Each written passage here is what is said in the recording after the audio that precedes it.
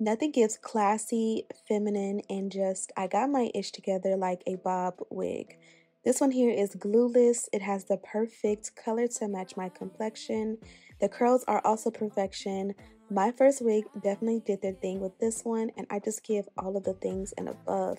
So feminine, so beautiful, and I'm absolutely excited to share this gorgeous girl with you guys. I created this look, and it's super beginner friendly, so if you're interested in seeing how we got this look, keep on watching. So for starters, this is the packaging. My first wig has some of the best packaging as well as some of the greatest quality wigs on the market. This is what she looks like straight out of the box. Of course, I'll show you all of the goodies that were included in my package at the end of the video, so stay tuned for that. But this is our gorgeous, gorgeous girl. She's a lace front wig, and you guys can see this is the inside construction of the cap. She comes with this gorgeous brown color. She comes with the curls, and she also comes with this adjustable elastic band. So I'm not going to waste any time. I'm going to go ahead and put her on and try her on for size. She definitely fits glueless. Everything about this one gives like 10 out of 10. I'd highly recommend. Even before I even put a comb to it, I can tell you that this is one for sure that would be perfect for any girl's collection. So here I am just combing her out. I wanted to see if I should fire up the curling iron or the wand curler. The curls were not folding none. So I was like, okay, this is going to be super simple and easy. I'm giving you guys a close-up look at the hairline and you guys can see there's not going to be much work on this one. So I'm just going to go ahead and pull her back and we can literally just get to work. So one of the only things you have to do for install is to cut off the excess lace. To amp it up a notch, I did pull out my eyebrow razor, which gives a better, more flawless cut especially when you're not going to be bonding her down. This is going to help it to look a lot more melted. Of course, you got to trust the process.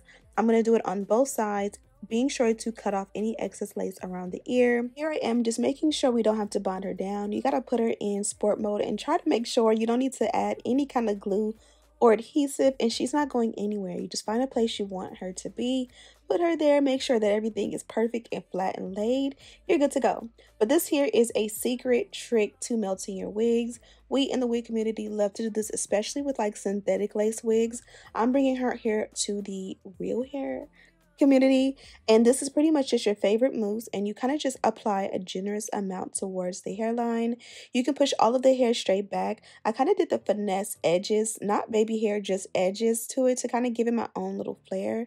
Pulling the hair back and we're just going to add a melt belt on top. This is going to give the illusion that the hair is a lot more melted. You guys see what it looks like first of all or beforehand and you're going to see the magic this step creates now while that dries, I'm going to go ahead and do the dynamic duo, clearing up or cleaning up the parting. You guys can see when I just went ahead with that rat tail comb, there was a little bit more parting space, which you guys know I love an elongated or extended parting. Now I'm going to take that wax and I'm going to fire it up with the electric hot comb and really get in there and just melt the lace and all of the hair around the lace area down. This is going to give a more flat, clean, finished look in my opinion. So I'm not stingy in this step. I kind of take my time and just get it as smooth as I can there's nothing I dislike more than seeing like my flawless beauties come out with a beautiful wig and there's so many lumps all around. So this is my step to kind of take that away. Now I'm going in with a portable fan to just make sure everything is dry along the hairline and look how well it melted. It's a still 100% glueless.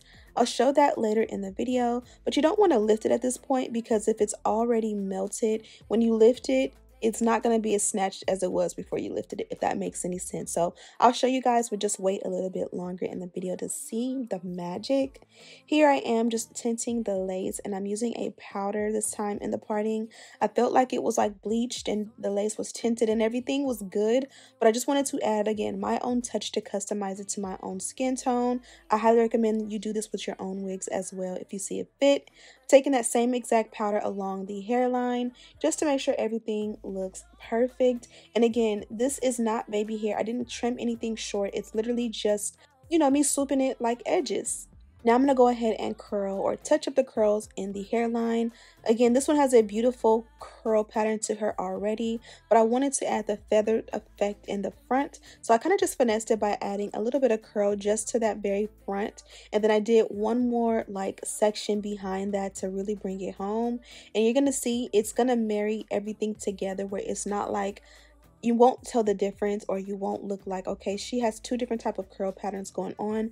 It's gonna look smooth and flawless and be a great transition but it gives me that feather bang that i crave so much. And you guys can see you just kind of comb it out and pull it back to your liking. And again i'm just touching everything up. I had already done the parting but i felt like it was a little bit more yellow tone so like a little orangey yellow so i went in and made it a little bit more brown.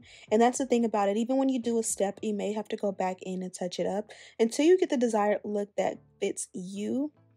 Now I think I'm done with the look and I'm absolutely in love. This caramel colored lace wig is absolutely gorgeous. Went ahead and changed, but this is a look at the packaging. They included that um, portable wig stand and I love that because you can travel with that one. They also gave me this flyway tamer as well as the pink dust bag. This stuff works with the Dynamic Duo as like a wax stick. Now this is a reusable pouch and it's double-sided, which is really cute.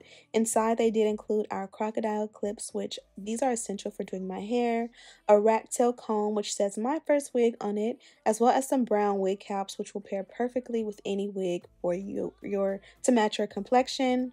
Here I am just adding a flexible hold hairspray. This has become a holy grail step. I love the flexible hairspray. I haven't used this in many years and I just don't know what I've been doing without it beforehand. But this is the final result. I hope you guys enjoyed this video. Be sure to check this cutie out. I have a direct link to her in the description box. As I mentioned, she is 100% glueless. We didn't blonde her down at all. She's 16 inches in length. And of course, I have all the details on her down below in the description box. Lace wear. She's absolutely perfect. Thank you guys so much for watching. And as always, I'll see you in the next one. Smooches.